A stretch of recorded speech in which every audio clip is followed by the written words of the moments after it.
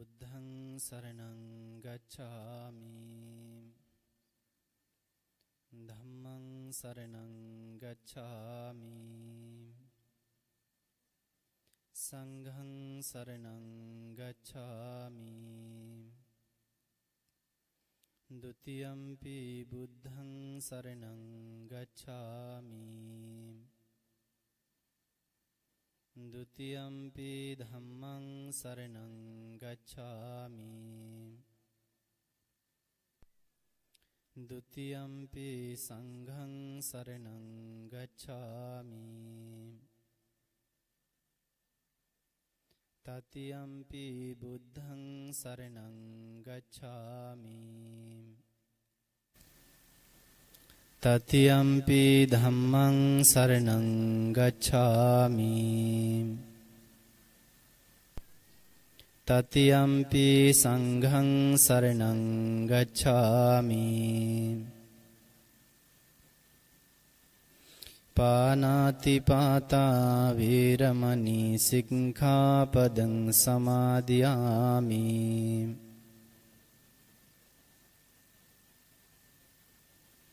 අදින්නාදානා වේරමණී සික්ඛාපදං සමාදියාමි.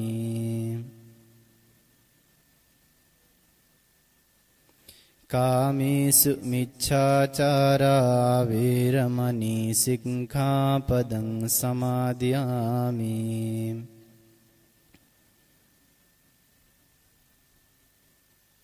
मुसावादा वीरमणि सिंहापदं समादयामि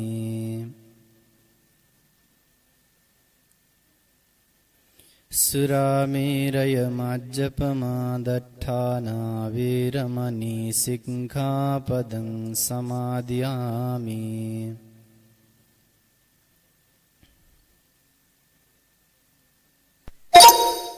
දට්ඨානා වේරමණී සික්ඛාපදං සමාදියාමි අපමාදීන සම්පාදේත සමන්තා චක්කවාලේසු අත්‍රා ගච්ඡන්තු දේවතා සද්ධම්මං මුනි රාජස්ස සුනන්තු සග්ග මොක්ඛදන් ධම්මස්සවන කාලෝ අයං බදන්තා ධම්මස්සවන කාලෝ අයං බදන්තා ධම්මස්සවන කාලෝ අයං බදන්තා නමෝ තස්ස භගවතු අරහතු සම්මා සම්බුද්දස්ස.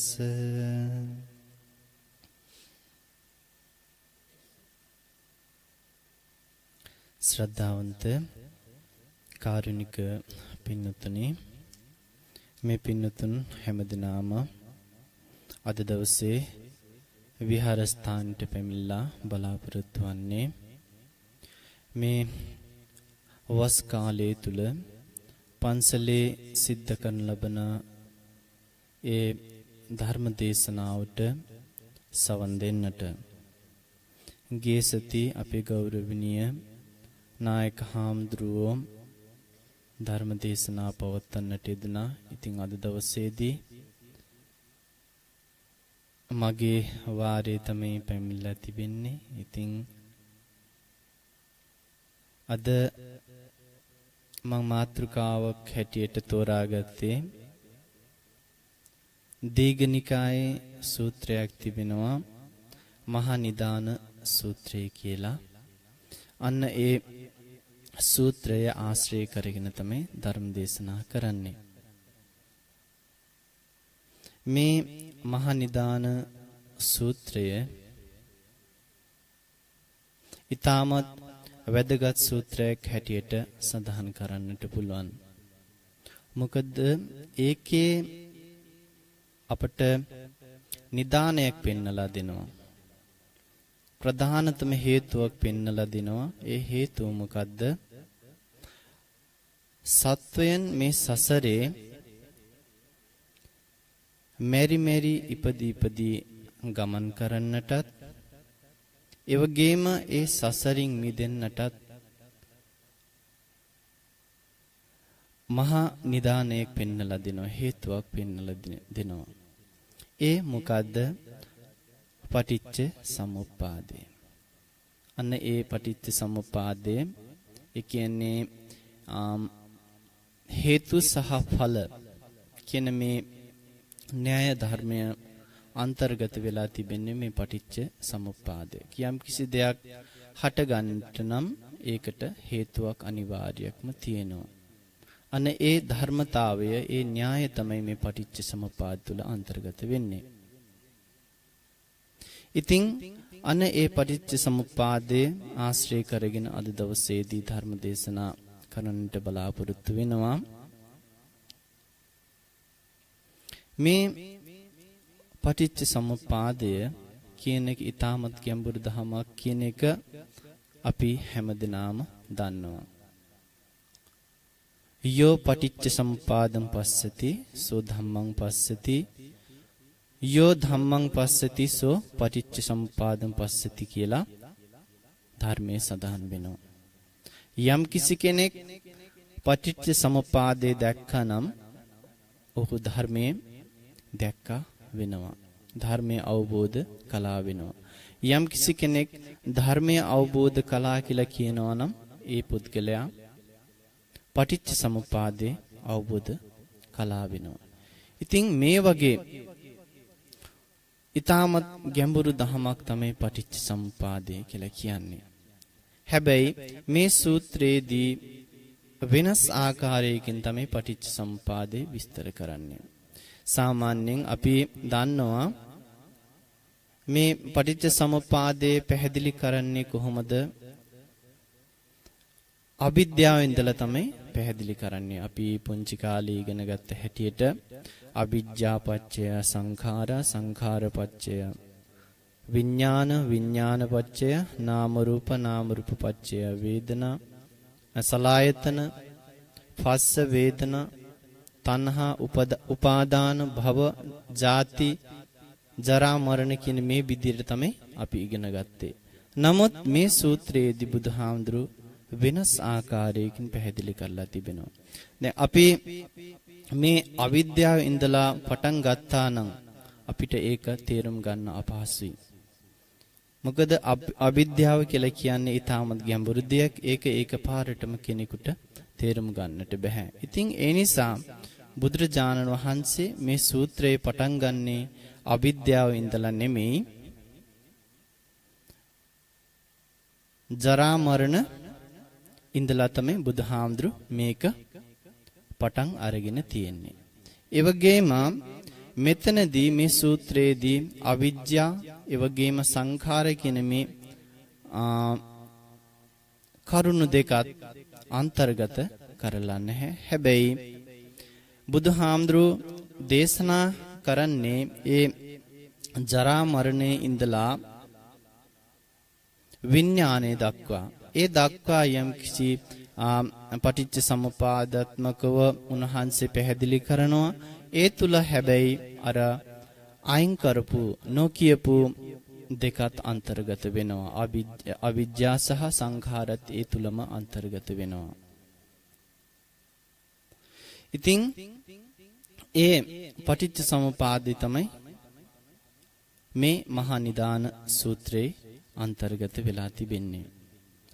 බුදුහාමුදුරුවෝ කුරු රටේ වාසය කරනකොට දවසක් ආනන්ද හාමුදුරුවෝ බුදුහාමුදුරුවෝ ළඟට ඇවිල්ලා කියනවා බුදුහාමුදුරනේ ඔබ වහන්සේ ඊටමත් ගැඹුරුයි කියලා දේශනා කරන ධර්මයක් තිබෙනවා ඒක තමයි පටිච්ච සමුප්පාදය. නමුත් මට එහෙම ඒකේ ගැඹුරු බවක් පේන්නේ නැහැ.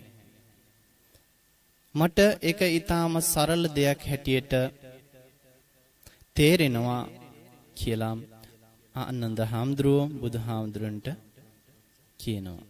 ඒ අවස්ථාවේදී බුදුහාමුදුරුව මොකද්ද කියන්නේ? මාහේවං ආනන්ද අවච ආනන්දෙනි එහෙම කියන්න එපා. ගම්බීරෝ ඡායං ආනන්ද පටිච්ච සමුප්පාදෝ මේ පටිච්ච සමුප්පාදේ කියලා කියන්නේ ඊටමත් ගැඹුරු දෙයක් ගැඹුරු දහමක් කියලා උන්වහන්සේ පැහැදිලි කරනවා. එතනදී උන්වහන්සේ ආනන්ද හාමුදුරන්ට කියනවා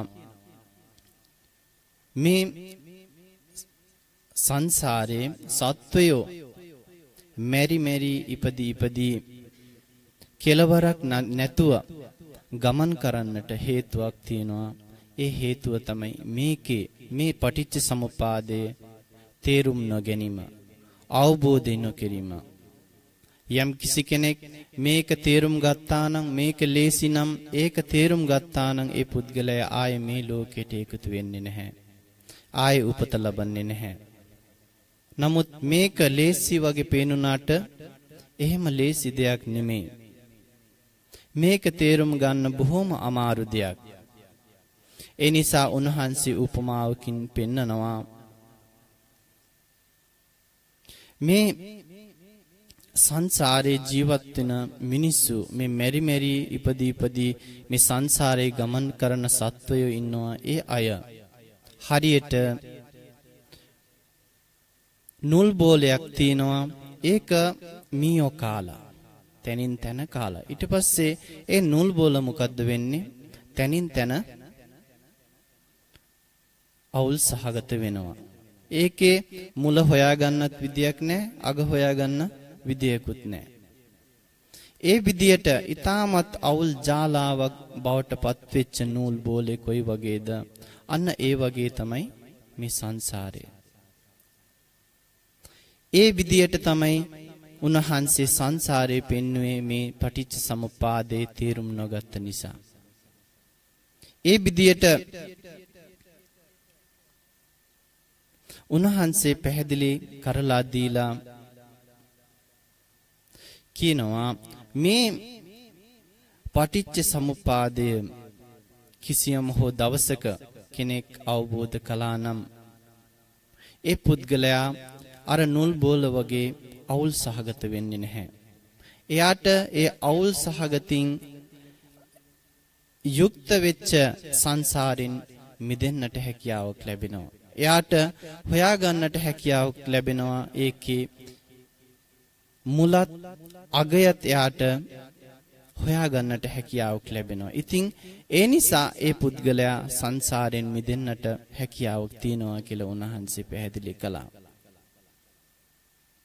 ඊළඟට බුදුහාමුදුරුව පැහැදිලි කරගෙන යනකොට කියනවා මං මේ බුද්ධත්වය ලබා ගන්නකොට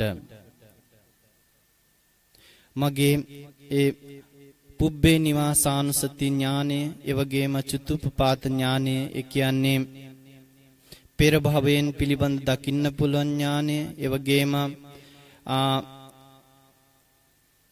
නැවත උපත ලබන ඒ ආකාරය දකින්න පුළුවන් නුවණ මං ලබා ගත්තා.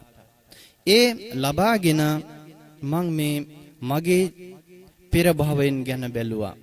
අනිත් අයගේ පෙර භවයෙන් පිළිබඳ බැලුවා. මේ විදියට බලනකොට මට පේනුනේ මොකද්ද? මේ සංසාරේ අපි කෙලවරක් නැතුව මෙරි මෙරි ඉපදී ඉපදී ගමන් කරනවා. එහෙම ගමන් කරනකොට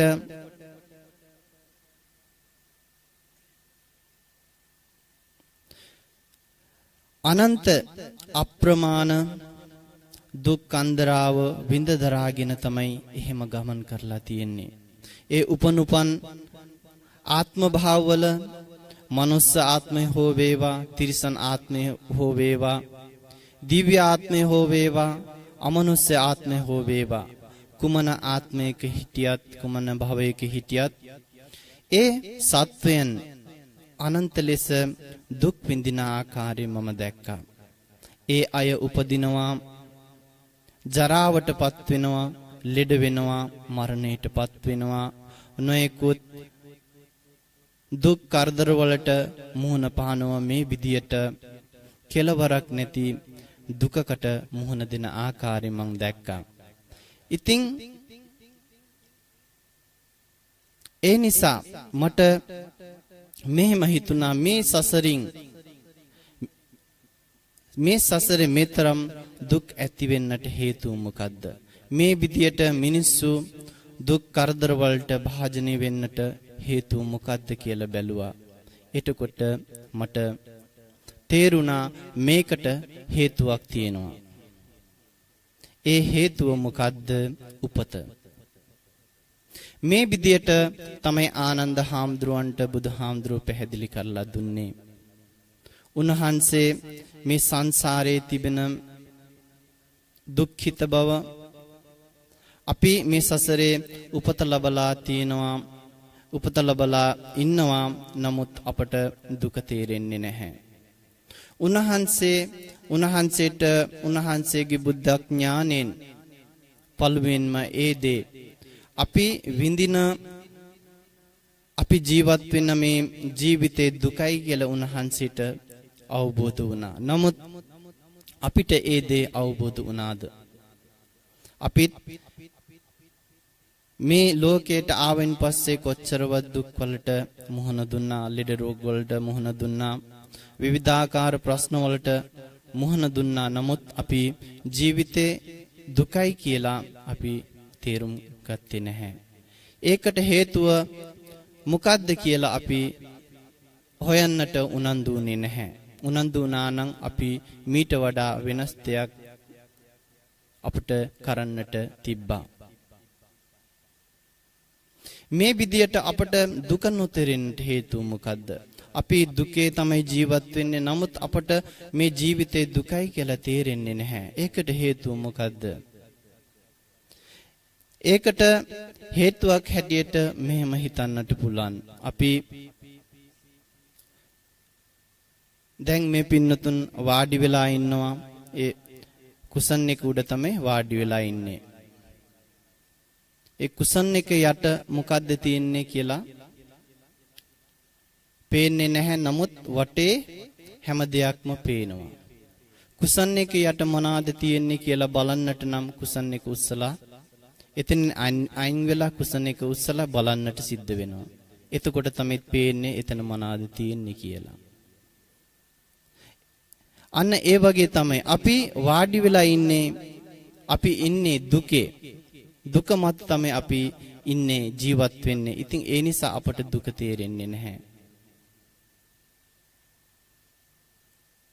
ඒ නිසා අපි ජීවිතේ කොයිතරම් දුක් විඳත් අපි తాවකාලික විසඳුම තමයි නිරන්තරයෙන්ම හොයන්නේ.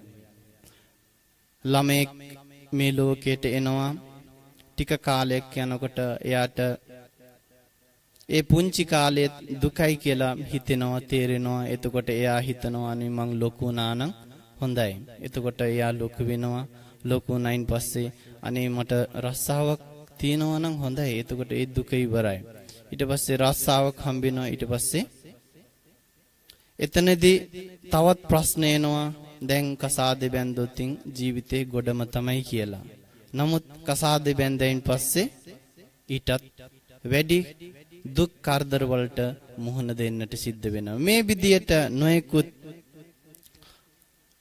දුක් අපේ ජීවිත වලට එනවා නමුත් අපි ඒ දේ අවබෝධයෙන් දකින්නේ නැහැ. ඒකට අපි වෙනස් ආකාරයෙන් පිළියම් යොදලා දුක ජීවිතේ දුකයි කියලා අවබෝධ කරන්නට තියෙන අවස්ථාව අපි වහලා දානවා.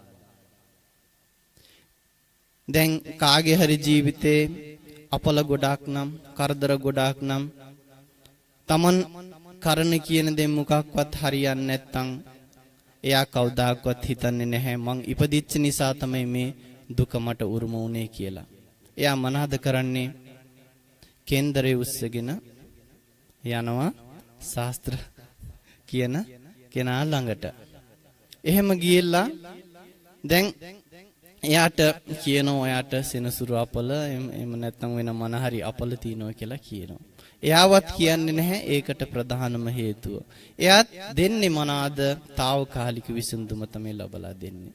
ඊළඟට එයා උපදෙස් දෙනවා එක්ක බෝධි පූජා කරන්න නැත්නම් දේවාලයට යන්න. ඉතින් සමහර අය බෝධි පූජා කරන්න බෝධියට යනවා. තවත් සමහර අය දේවාලයට යනවා ලොකු පළතුරු වට්ටියකුත් උස්සගෙන.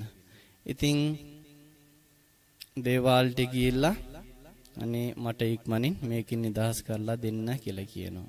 මිට වැඩි සැපවත් ජීවිතයක් ලබලා දෙන්න කියලා කියනවා. මේ මේ වගේ දුක් කරදර නැති ජීවිතයක් ලබලා දෙන්න කියලා ප්‍රාර්ථනා කරනවා. නමුත් ප්‍රාර්ථනා කරන්නේ නැහැ. මේ ඉපදීම නිසා මට මේ දුක උරුම වුණේ මට මේ ඉපදීම නවත්තලා දෙන්නයි කියලා කවදාවත් ප්‍රාර්ථනා කරන්නේ නැහැ. තවත් සමහර අය මොනවාද කරන්නේ? ඒ පළතුරු වට්ටියත් අරගෙන දේවාලට යනවා දේවාලට ගිහිල්ලා දෙවියන්ගෙන් නොයෙකුත් දේවල් ප්‍රාර්ථනා කරනවා. සාමාන්‍ය දේවල් ප්‍රාර්ථනා කරනවා නම් හොඳයි. නමුත් ප්‍රාර්ථනා කරන සමහර දේවල් තියෙනවා. මට හිතෙනවා දෙවියන් මේ අය ඒ අය මේ අය නෙමෙයි ඒ අය අමාරුවේ දානවා කියලා. මොකද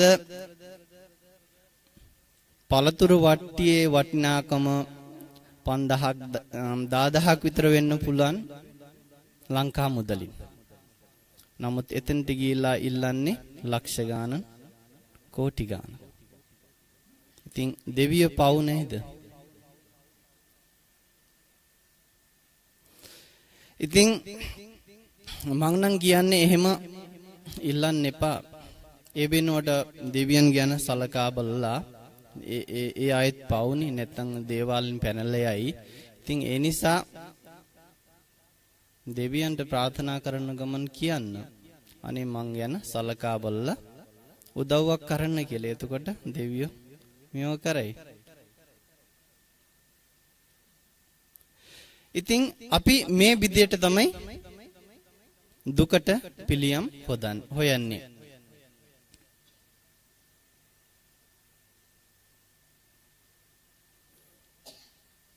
මං කිව්වා හරිද?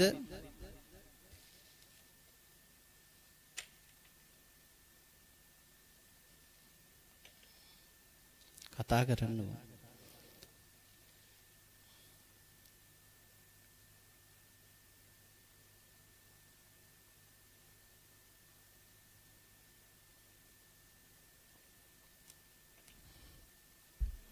අපිට දුක අවබෝධ කරන තියෙන අවස්ථාව නැති කරලා දාන්නේ අපිමයි.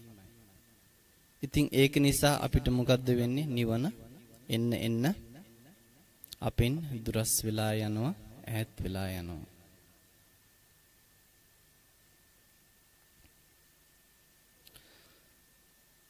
මට පොඩි කතාවක් මතක් වෙනවා. මහත්තයෙක් හිටියා කසාද බැඳපු. මේ මහත්තයා ආ මහත්තයෙක් හිටියා කසාද බැඳපු. දැන් ඇහෙනවද? ආ හරි. ඉතින් ඒ මහත්තයා බොහොම දුකින් තමයි හිටියේ. එයාගේ ජීවිතය අපල ගොඩයි. මොකද බැඳලන් හිටියේ. ඉතින් ඒ නිසා නිතර නිතර නෝනායි කරදරේ බෑ. ඉතින් එයා මනා කළත් නොනා බයිනෝ. කතා කළත් බයිනෝ නොකළත් බයිනෝ වැඩ කළත් බයිනෝ නැතත් බයිනෝ මනා කළ කළත් බයිනෝ සමහර අය එහෙම ඉන්නවනේ. ඉතින් දැන් මේ මහත්යට එපා වෙලා හිටියේ. ඉතින් ඉවසගෙන හිටියා හිටියා හරියන්නේම නැහැ. ඉතින් එයා දවසක් කල්පනා කරනවා අනේ මේ ගෑණින හරි කරදරයක් නේ. මේක මැරිලා යනවා නම් හොඳයි කියලා හිතනවා. මෙන්න මෙයාගේ කතාව දෙයියෝ අහලා එහෙම කියලා දවසක්වත් ගියේනේ අන්න එයාගේ නෝනා මැරිලා. එහෙම වෙනවන් කොච්චර හොඳදනේ? කියපු කියපු ගමන් වෙනවනම් මහත්යල සතුටු විය.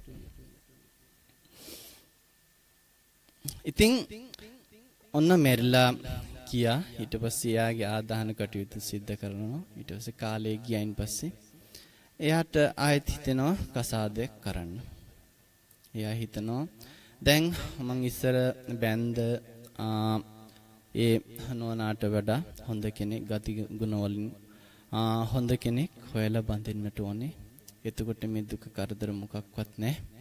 එයාත් එක්ක හොඳින් ජීවත් වෙන්න පුළුවන් කියලා හිතනවා. ඊට පස්සේ එයා තව එක්කෙනෙක් කසාද බඳිනවා. මෙන්න මෙයාත් එක්ක කසාද බැඳලා ටික කාලයක් යනකොට ආයෙත් අර වගේම තමයි. රණ්ඩු වෙනවා. නොයෙකුත් කරදර බලන් ගියාම කලින් හිටපු එකට වඩා අන්තයි. දැන් කරන්න දෙයක් නැහැ බැඳලා ඉන්නේ. ඊට පස්සේ ආයෙත් ඉතින් ඔන්න එපා වෙලා ආයෙත් එයාට කලින් සිද්ධ වෙච්ච ඒ සිද්ධිය මතක් වෙනවා මන හරි කිව්වත් හරියනවා කියලා. ඔන්න ආයෙත් දෙවෙනි සැරෙත් එයා මොනවද කරන්නේ? අන්න මෙයාගෙනුත් මාව නිදහස් කරලා දෙන්න කියලා කියනවා. ඒතර එයාත් ඔන්න නිදහස් වෙලා යනවා. තුන්වෙනි වතාවටත් කසාද බඳිනවා. හතරවෙනි වතාවටත් කසාද බඳිනවා. පස්වෙනි, හයවෙනි, හත්වෙනි මේ විදියට කසාද හතක් කරගන්නවා. නමුත් එයාට කලින් තිබුණු කරදර වලට වඩා වැඩි වැඩියෙන් තමයි කරදර එන්නේ එන්නම වැඩි වෙන්නේ.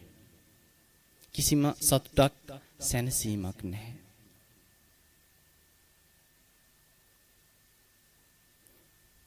ඒ මිනිස්යාට ජීවත් වෙන්නට උනේ කලින් හිටියට වඩා බොහොම පීඩාවෙන් තමයි ජීවත් වෙන්නට සිද්ධ වුනේ. ඉතින් මම මේ කතාව මතක් කළේ ඇයි අපේ ජීවිතෙත් මෙන්න මේ වගේ තමයි. අපි අපේ ජීවිතයට යම් කිසි කරදර බාධා එනකොට අපි හිතනවා හිතනවා මේක නැති කරන්න තවත් දෙයක් ඉදිරිපත් කරනකොට ඒක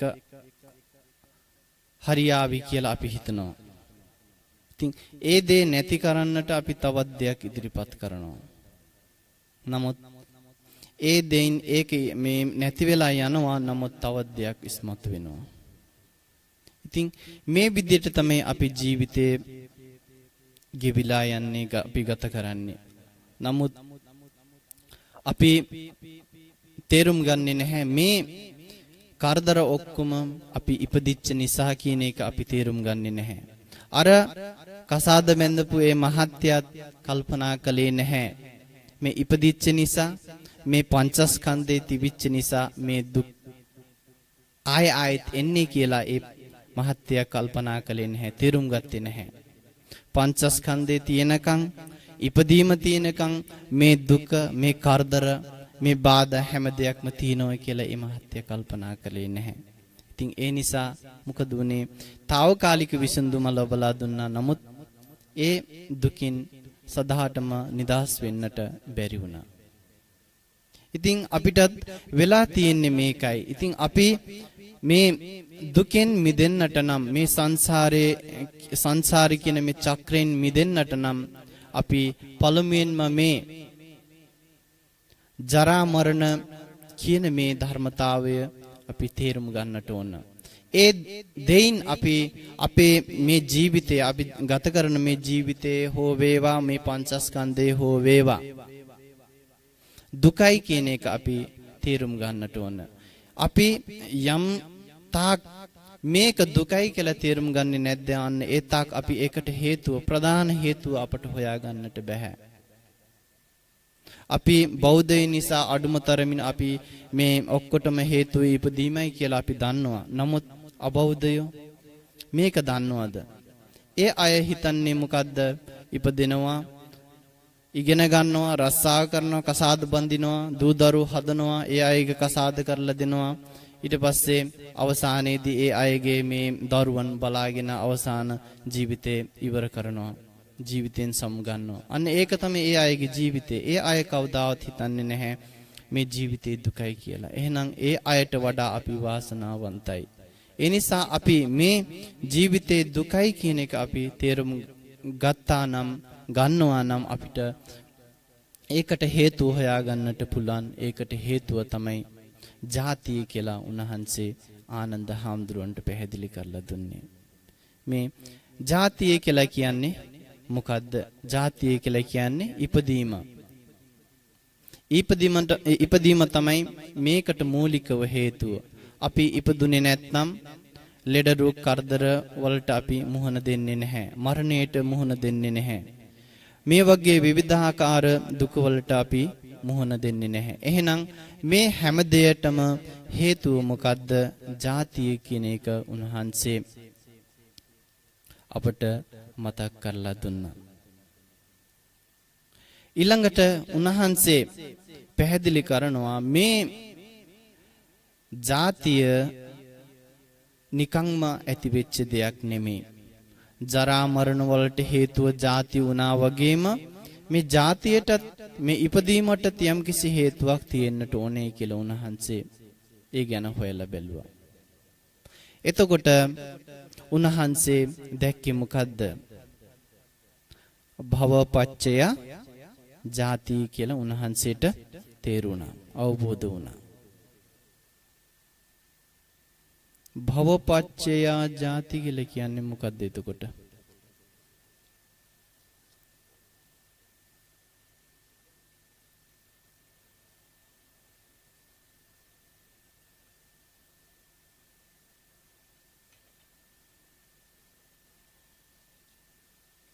ඒ කියන්නේ මොකද්ද?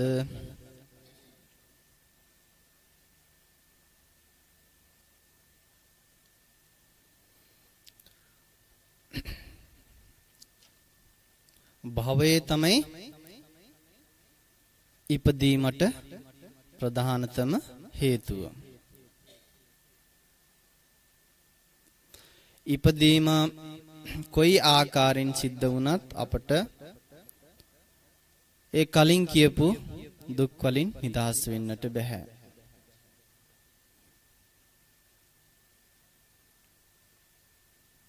එතකොට අපි මේ ජාතිය ගැන ඉපදීම ගැන කතා කරනකොට අපේ ඉපදීම නොයෙකුත් ආකාර වලින් සිද්ධ වෙනවා.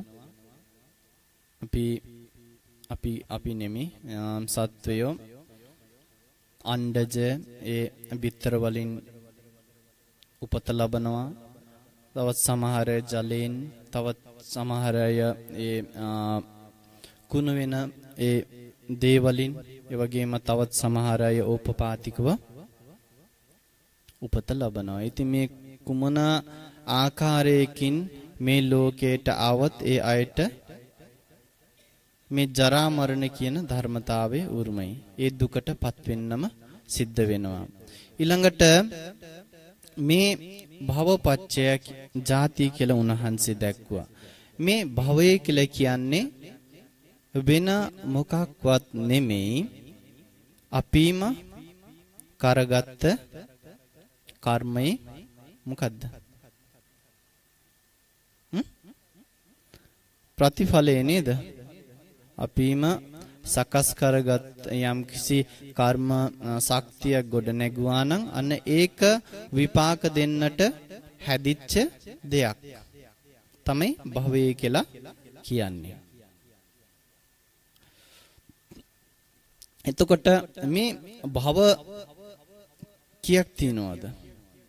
අපි භව කීයක් සකස් කරනවද?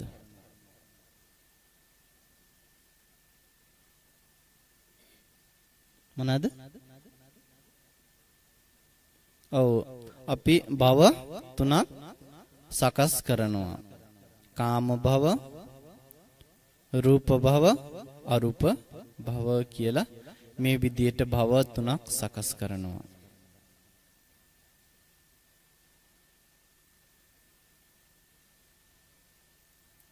එතකොට මේ කාම භව කියලා කියන්නේ මොකද්ද?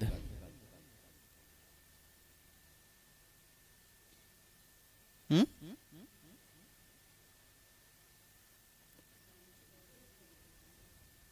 ඔව්. අපි අපි යම් කිසි කර්ම රැස් කළා නම් හොඳ හෝ නරක කාම භවයට අයිති වෙනවා සතර අපාය මනුස්ස ලෝක දිව්‍ය ලෝක 6 මේ මේකට කියනවා කාම භව කියලා නරක ඒ කියන්නේ පාප කර්ම කළොත් අපායට වැටෙනවා පින් කළොත් මනුස්ස හෝ දිව්‍ය භවයට පත් වෙනවා. එතකොට මේ භවය කාම භවය ට අපි ඉපදෙන්නට හේතුව මොකද්ද? අපිම සකස් කරගත්ත කර්ම ශක්තිය. අපි පංච ඉන්ද්‍රියන් පිනවන්නට කැමැති ඒ දේ පිනවා පිනවා මනාද කරන්නේ අපි කර්මේ රැස් කරනවා. පින් කරනවා. එතකොට ඒකත් අයිති වෙන්නේ ඒකත් විපාක දෙන කර්මයක් බවට පත් වෙනවා. ඒකට කියන අපි මොනවාද? කාම භවනේ. එතකොට මේ කාම භවයේ තියෙන විශේෂ ලක්ෂණය තමයි පංච ඉන්ද්‍රියන් පිනවන එක. ඒකට තියෙන ආසා නිසා ඒකේම සත්වය මෙරි මෙරි ඉපදී ඉපදී ඒ එක්කෝ අපායේ වැටෙනවා නැත්නම් මනුස්ස ලෝකේ නැත්නම් දිව්‍ය ලෝකේ. ඒ තුනේ තමයි ඒ අය ඒ කාම ආසාව තිනකන් ඒකේම ඉන්නවා. ඊට පස්සේ තවත් සමහර අය ඉන්නවා මේ පංච ඉන්ද්‍රියන් පිනවන්න ඒ අය කැමති නැහැ. ඒ අය මොනවාද කරන්නේ බණ භාවනා කරනවා ධානයේ ලබා ගන්නවා. ප්‍රථම ධානයේ, ဒုတိ ය ධානයේ, තෘතිය ධානයේ, චතුර්ථ ධානයේ කියලා මේ ධාන උපදවා ගන්නවා. ඊට පස්සේ ඒ අය කොයිද උපදින්නේ? රූපාවචර බ්‍රහ්ම ලෝකේ උපත ලබනවා. මොකද ඒ අය මේ කර්මය සකස් කරනවා ඒ රූපාවචර බ්‍රහ්ම ලෝකේ උපත ලබන්නට. දැන් අර සංස්කාරයේ මේ ඒ කොටසේදී විස්තර රැස් කරන හැටි පුඤ්ඤාභි සංස්කාරයේ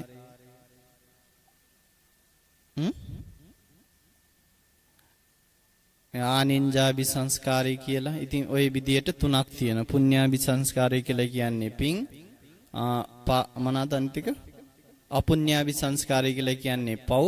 ඊට පස්සේ ওই දෙකටම අයිති නොවන එකක් තියෙනවා ආනින්ජාභි සංස්කාරය කියලා. එතකොට ඒකින් ඒකට තමයි අයිති වෙන්නේ ධානය උපදවා ගත්ත අය.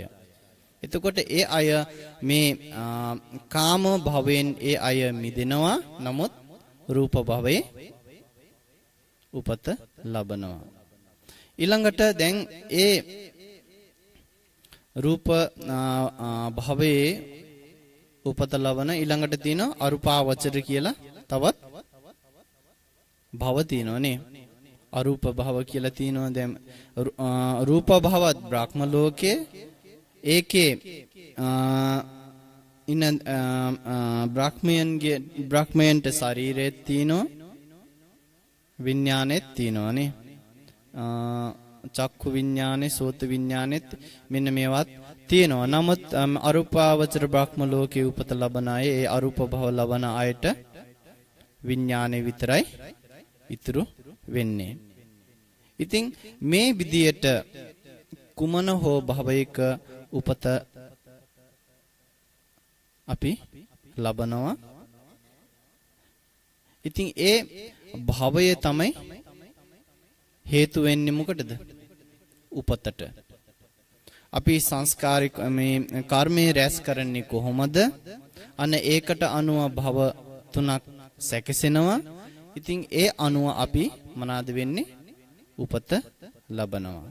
ඉතින් එහෙනම් උපතට ප්‍රධාන හේතුව වෙලා තිබෙන්නේ භව. ඒ කියන්නේ කර්මය සකස් වීම, බීජය සකස් වීම තමයි එතනදී අපිට කියන්නට පුළුවන්.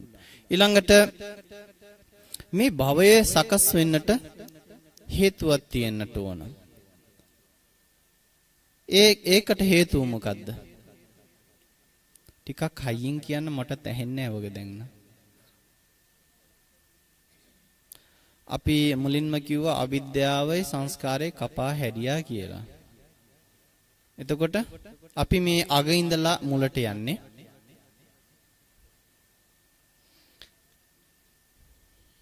උපාදාන පච්චය භව.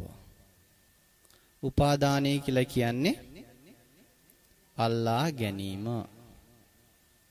එතකොට මොනවාද අල්ලන්නේ? මොකෙන්ද අල්ලන්නේ?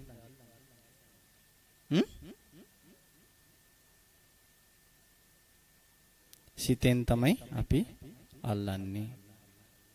මනාද අල්ලන්නේ?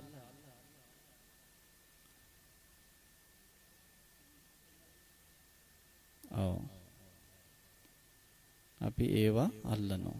රූප, ශබ්ද, ගන්ධ, රස, ස්පර්ශේ මෙන්න මේවා අල්ලනවානේ.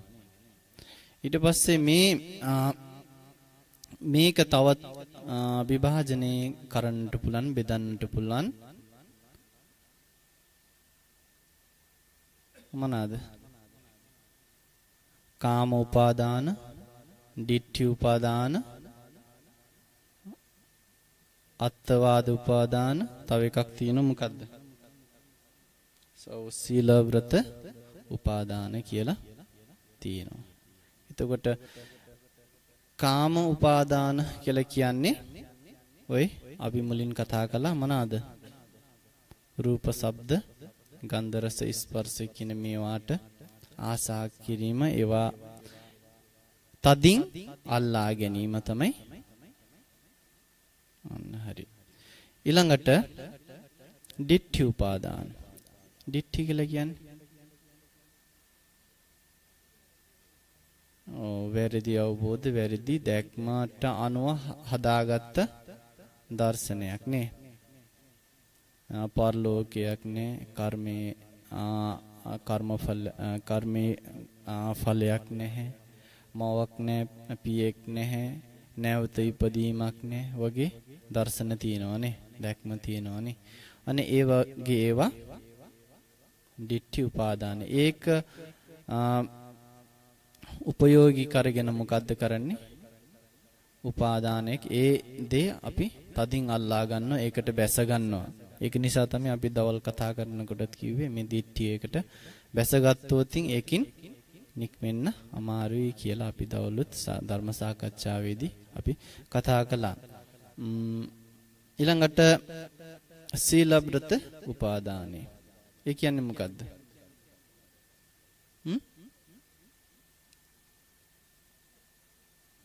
ඔව් වැරදි සිල් අනුගමනය කිරීම ඒ කියන්නේ ඒ සිල් අනුගමනය කිරීම තුළින් ඒක අපි පාලනය කිරීම තුළින් අපට මෝක්ෂය එම නැත්නම් නිවන ලැබෙනවා කියන විශ්වාසයෙන් යුක්තව ඒ අය ඒ දේ රකින්නට පෙළඹෙනවා. ඒකින් මිදෙන්නට ඒ අය හිතන්නේ නැහැ. දැන් බුදුහාඳුන්ගේ කාලෙත් හිටියානේ මේ ගොනෙක් වගේ ඉන්න අය, ගෝ ව්‍රත රකින්න අය, කුක්කුරු ව්‍රත මේ බල්ලෙක් වගේ ඒ හැසිරෙන අය. ඒ අය ඒ තුලින් මනාද කල්පනා කළේ ඒ අය ඒ විදියට සිල ව්‍රත මේවා ආරක්ෂා කළොතින් පාලනය කළොතින් එයාලා මරුණින් මත්තෙන් සුගතියක එහෙම නැත්තම් ඒ අය මොක්ෂය සාක්ෂාත් කර ගන්නවා කියන විශ්වාසය ඒ අය තුල තිබුණා. ඊළඟ එක අත්වාද උපාදානනේ. ඒ කියන්නේ මොකද්ද?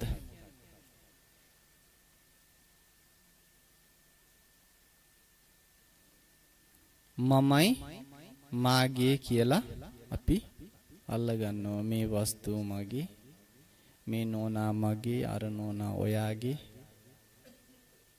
මේ කාර් එක මගේ මේ ගෙදර මගේ කියලා අපි අල්ල ගන්නවා. ඉතින් ඒක ඊට පස්සේ මමයි මාගේ කියන මේ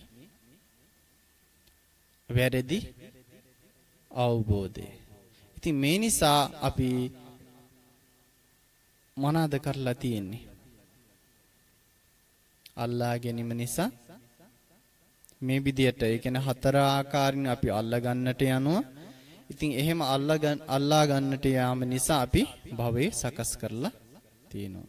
ඒ හතර ආකාරින් අල්ලා ගන්නට යනවා. ඉතින් එහෙම අල්ලා ගන්නට යාම තුලින් අපි භව තුනක් සකස් කරලා තියෙනවා. කාම භව, රූප භව, අරූප භව. එතකොට මේ උපාදානයටත් හේතුවක් තියෙන්න ඕනනේ. උපාදානය නිසා භවයක් හටගත්තා නම් උපාදානයත් නිකම්ම ඇති වෙන්න විදියක් නැහැ. එතකොට උපාදානයට හේතුව මොකද්ද? තණ්හා. තණ්හා කියලා කියන්නේ මොකද්ද?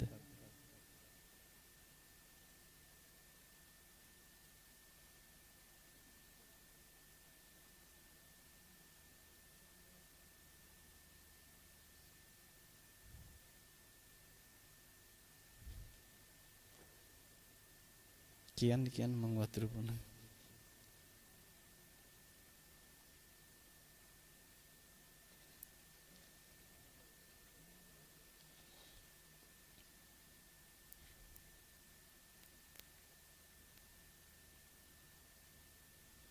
ඔව් ඉතින් ඔයාලා කියප එක හරි. තණ්හාව කියලා කියන්නේ ආසාව. යම් කිසි දෙයක් දැක්කයින් පස්සේ ඒකට තියෙන කැමැත්ත රුචි බව තමයි මොනවාද? තණ්හාව කියලා කියන්නේ. එතකොට මේ තණ්හාවේ ස්වභාවය ධම්මචක්කපවත්තන සූත්‍රයේදී සඳහන් කරනවා යායන් තණ්හා පෝනෝ භවිකා නන්දි රාග සහගතා తත්‍ර తත්‍රා අභිනන්දිනී කියලා සඳහන් වෙනවා. එතකොට පෝනෝ භවිකා කියලා කියන්නේ නැවත ඉපදීමක් සකස් කරලා දෙන්න ස්වභාවයක් ඒ තෘෂ්ණාව තුළ ඒ තණ්හාව තුළ තියෙනවා. ඊළඟට පෝනෝ භවිකා නන්දි රාග සහගතා. ඒ කියන්නේ අපි යම් කිසි දෙයක්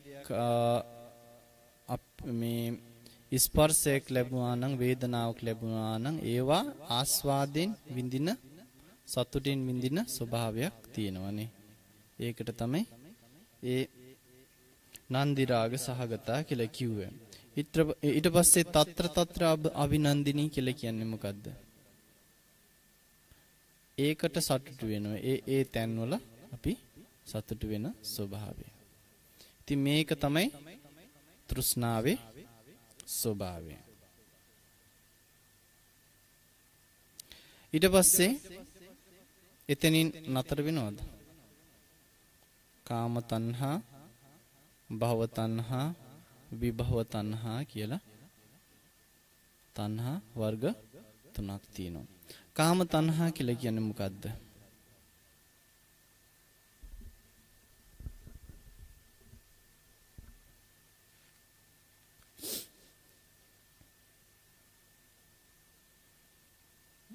ඔව් පංචේන්ද්‍රයන් පිනවීමට තියෙන ආසාව.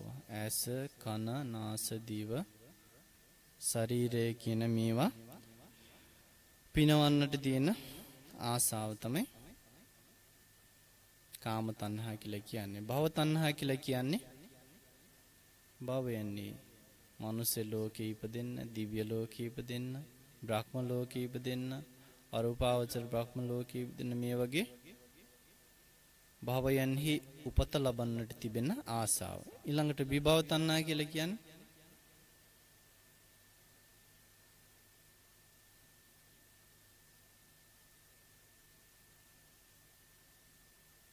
භවයන්ට ආසාවක් නැතිවීම උච්ඡේදවාද ලක්ෂණයක්. නැවත ඉප නූපදින්නට තියෙන ආසාව. නමුත් ඒ ආසාව තිබුණාට ඉපදෙන්නට ආසාව නැති වුණාට ඒ ඒ ආසාව ඉපදිනේ වැරදි අවබෝධයෙන්. ඉතින් මේ විදිහේ තණ්හාව නිසා තමයි මොකද්ද වෙලා තියෙන්නේ?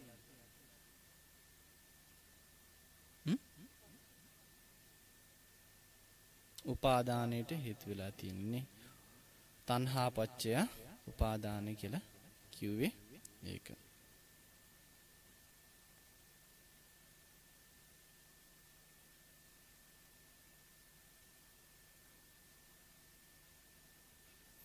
මේ මොනවාද?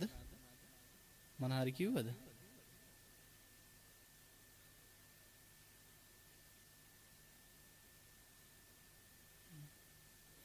මේ තණ්හාව ගැන කතා කරනකොට අර පොඩි කතාවක් මතක් වුණා. වෙලාවත් ඉවරයි වගේ. මිනිස්සෙක් හිටියා. එයා ඊටමත් දුක්පත් කෙනෙක්. එයාට ජීවත් වෙන්න හරිම අමාරුයි. ආදායම් මාර්ගයක් තිබුණේ නැහැ. ඉඩම් කඩම් ජීවත් වෙන්නට ප්‍රමාණවත් තිබුණේ නැහැ. ඉතින් බොහොම දුකසේ තමයි ජීවත් වුනේ. ඉතින් දවසක් මෙයාගේ ගෙදරට හින්දු පූජකයෝ දැකලා තියෙනවද? ඒ අය කහපාට වස්ත්‍රය තමයි අඳින්නේ. දැකලා තියෙනවද? ඉන්දියාවේ මේ ඔය කෝවිල් වල ඉන්නවා. ඉතින් මේ මිනිස්යාගේ ගෙදරට මේ සාදුලා කීප දෙනෙක් එනවා. මේ මෙයාගේ ගේ ළඟම තවත් මිනිස්සෙක් හිටියා. එයා ටිකක් එයාට වඩා පෝසත් යමක් කමක් තිබිච්ච කෙනා. ඉතින් මෙයා දකිනවා මේ සාදුලා තුන්දෙනෙක් මෙයාගේ ගෙදරට යනවා. ඉතින් මෙයා කල්පනා කරනවා මෙයාට මොකක්වත් නැහැ. ඒ වුණාට එයාගේ ගෙදරට මෙයාලා යනවා. මෙයා කොහොමද දන් දෙන්නේ කියලා බලන්න. ඉතින් එයාට හිතෙනවා පොඩ්ඩක් හොයලා බලන්න. ඉතින් එබිලා බලනවා. මෙන්න මේ එබිලා බලනකොට අර දුක්පත් මිනිස්සයා ඒ සාදුලාට දෙනවා. දීගෙන දීගෙන යනවා. මුකෙන්ද දෙන්නේ? ගෙදර තිබුණ ලොකු පොල්ලක් පොල්ලෙන් දීගෙන දීගෙන යනවා. මෙන්න මෙහෙම දීගෙන දීගෙන යනකොට ඒ සාදුලා මොනවද වැටිනවා. වැටිලා ටික වෙලා ගියයින් පස්සේ ඒ සාදුලා තුන්දෙනෙක් විතර හිටියේ ඒ තුන්දෙනාම රත්තරන් කඳ බවට පත් වෙනවා. මේක අර අනිත් මිනිස්සේ දැකගෙන හිටියේ බලාගෙන හිටියේ. මෙයාට පුදුමයි. සාදුලා ආව පොල්ලක් අරගෙන ගහගෙන ගහගෙන ගියා. ඔන්න රත්තරන් වුණා. ඊට පස්සේ ඊළඟ දවසේ මෙයාත් කල්පනා කරනවා මාත් මගේ ගෙදරට ඒ සාදුලා එයා තුන් දෙනෙක්නේ අඬ ගෙවි මං ඒ කෝවිල ඉන්නේ ඔක්කොමලා අඬ ගහනවා කියලා ඔක්කොමට එන්න කියනවා. ආරාධනා කරනවා. ඉතින් ආරාධනා කරලා ආයෙත් මෙයා ලැස්ති වෙලා ඉන්නේ දැන් පොල්ලකුත් අරගෙන. ඇවිල්ලා දැන් වාඩි වෙනවා. ඉතින් අර සාදුලා දන්නේ නැහැ මේ මොකටද අඬ ගැව්වේ. ගහයිද කියලා දන්නෙත් නැහැ. ඉතින් ඔය මොකක් හරි ආගමික වතාවතකට වෙන්න ඕනේ කියලා තමයි එයාලා ඉතින් හින්දාගත්තේ. නමුත් හින්දාගත්තා විතරේ ඔන්න දීගෙන දීගෙන යනවා. එතකොට මෙයාලා කෑ ගහලා යනවා අයියෝ මාව මරනවා බුදුවම්ම කියලා. එයාලා බුදුවම්ම කියන්නේ වෙනම මං කිව්වට මේ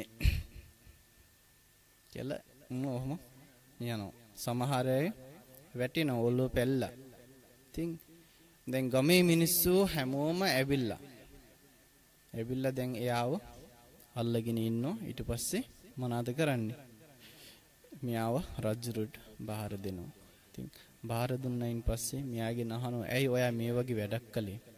එතකොට කියනවා මං දැක්ක අල්ලපු ගෙදර මිනිස්සයා මේ විදියට පොල්ලක් අරගෙන ගහගෙන ගහන ගියා. එයාට රත්තරන් කන්ද දෙකක් තුනක් හම්බුණා කියලා. අන්න ඒක ලබා ගන්න තමයි මං ඒ සාදුලාට ගැහුවේ කියලා කියනවා. අපිටත් ඔහොම කරයිද දන්නේ නැහැ ඉතින් බලන් ගියාම මේ රජතුමා අර මිනිස්සයා ගෙන්නලා ප්‍රශ්න කළාම එයාට ඉෂ්ට දේවතාව දේවතාවයක් ඇවිල්ලා හීනේ කියලා තියෙනවා මෙන්න මේ වගේ සාදුලා තුන්දෙනෙකු එයාගේ ගෙදරට එයි. එතකොට පොල්ලක් අරගෙන ගහන රත්තරන් වෙයි කියලා කියලා තියෙනවා. නමුත් මේ ගැන අර මිනිස්සයා දැනගෙන හිටියේ නැහැ. ඉතින් එයා හිතුවේ මොකද්ද? සාදුලාහනේ කවුරු වුණත් කමන්නේ ගැහුවම රත්තරන් වෙයි කියලා ගහගෙන ගියා. ඔන්න වෙච්ච වැඩේ. ඉතින් එයාට අන්තිමට මොකද උනේ?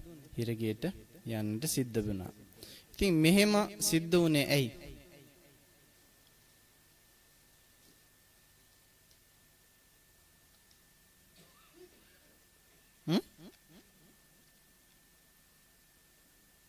තණ්හාව නිසා මොකටද තිබුණ තණ්හාව?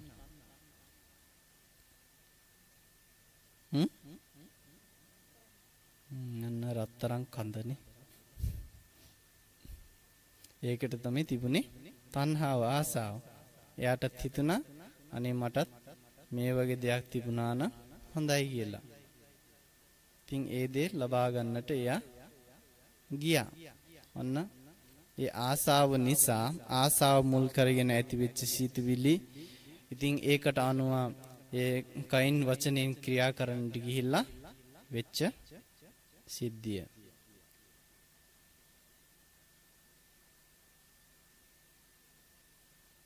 ඉතින් එහෙමනම් මේ තණ්හාව නිසා තමයි අපි උපාදානි කරගන්නේ. අපි යම් කිසි දෙයකට ආසා කරනවා ඒ ආසා කරන දේ ලබා ගත්තයින් පස්සේ මොනවද කරන්නේ?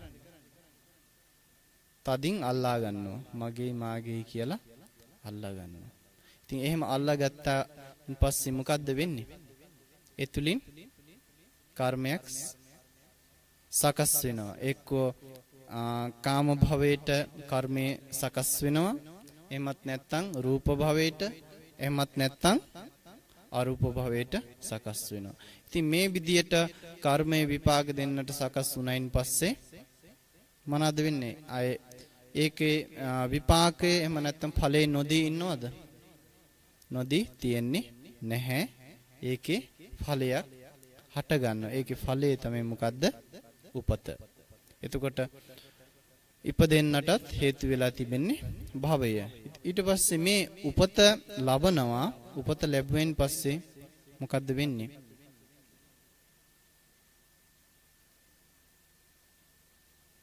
ජරා මරණ ශෝක පරිදේව දුක්ඛ දෝමනස කියන මේ හැම දුක් කන්දරාවම අපට උරුම වෙනවා. එහෙම නේද? එහෙනම් ඒ ජාති ජරා ආදී දුක් වලට හේතුව උපත උපත එකට හේතුව භව භව ඇති වෙන්නට හේතුව උපාදාන උපාදාන ඇති වෙන්නට හේතුව තණ්හාව. ඉතින් ওই ටික අදට මතක තියාගන්න ඉතුරු ටික ලබන සැරේ අපි කතා කරමු. ඉතින් මතු සම්බන්ධයි තමයි කියන්න තියෙන්නේ. එහෙනම් අද දවසේ විහාරස්ථානට පැමිණලා තිසරණ සහිත පන්සිල් සමාදන් වෙලා ඒ වගේම දස සිල් සමාදන් වෙලා එම්දනාම සිල්වත්ව ඉඳගෙන බුදුරජාණන් වහන්සේ විසින් දේශනා කරන්නට යෙදුනා වූ ඒ ධර්මයෙන් බින්දක් ශ්‍රවණය කරන්නට යෙදුනා. ඉතින් මෙයා දිවසනක් දවසේදී රැස් කරගත්තා වූ පින් බලෙන් මේ පිනතුන් හැම දිනාටම නිදුක් නිරෝගී චිර ජීවනයේ ලැබේවා. අවසානයේදී අමා මහ නිවනින් සැනසෙන්නට ඒකාකාරීන් හේතු වාසනා වේවා කියලා ප්‍රාර්ථනා කරගන්න. ඒ වගේම සියලුම දෙවි දේවතාන් වහන්සේලාටත් මේ පින් අනුමෝදන් කරමු. පින් අනුමෝදන් වන එම දෙමියන්ගේ දිව්‍ය ඉසුරු වඩා වර්ධනය කරගනිත්වා. අවසානයේදී ඒ දෙවියනුත් පතන්නා අවබෝධයකින් නිවන් දකිත්වා කින දාස්නිත්ව පින් අනුමෝදන් කරන්න ආකාසට්ටා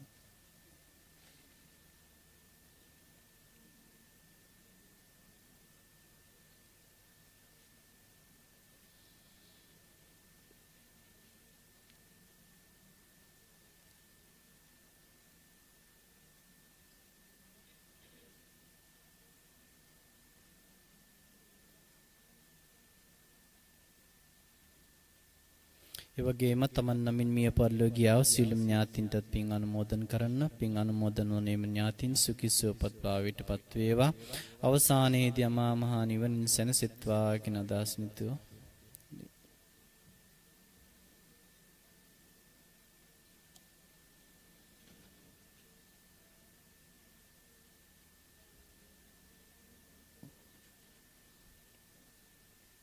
හොඳයි හැමදිනාටම සිතක් සාන්තික මුදා වේවා. අවසානයේදී අමා මහ නිවන් සම්පත් ලැබේවා කියලා ප්‍රාර්ථනා කරගන්න. අභිවාදන සීලිස නිච්ඡං වඩ්ඩා පචායිනෝ චත්තාරෝ ධම්මා වඩ්ඩಂತಿ ආයුවන්නෝ. සුකම් බලං ආයුරාෝග්‍ය සම්පatti සග්ග සම්පatti මේවච.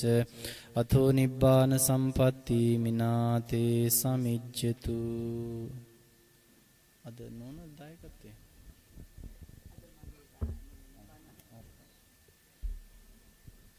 අද මේ ධර්ම